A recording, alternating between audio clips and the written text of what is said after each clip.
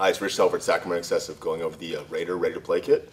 It comes with the goggles, barrel squeegee, barrel plug, the Raider marker, 50 paintballs, 90 gram CO2 tank, parts kit, and hopper, and your Raider manual.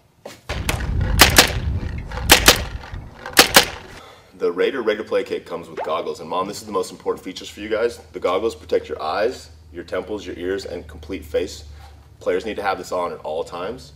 Second most important feature is the barrel plug. The barrel plug goes in the end of the barrel, and mom, make sure this is in at all times. Kids, the marker is the Raider marker. It's got the charging handle inside. Safety button is right above the trigger. It's got the forehand grip, direct feed, no elbow necessary. You can sight it right down the top of the gun. It comes with 50 paintballs.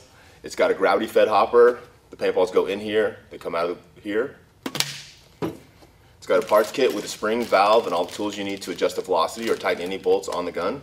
The 90 gram CO2 tank threads into the adapter. The adapter threads into the gun.